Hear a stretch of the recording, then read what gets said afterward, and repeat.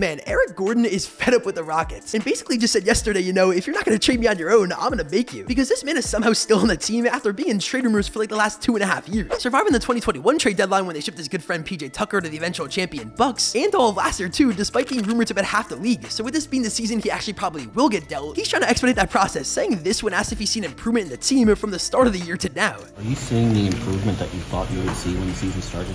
There's no improvement. Yeah, uh, free that man. He's, he's been there long enough.